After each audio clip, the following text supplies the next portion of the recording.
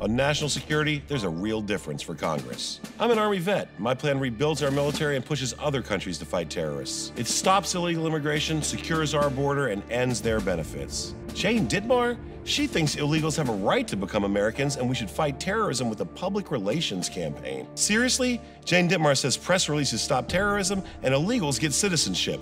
I don't. That's the difference. I'm Tom Garrett. I approve this ad because I'll fight to keep America secure.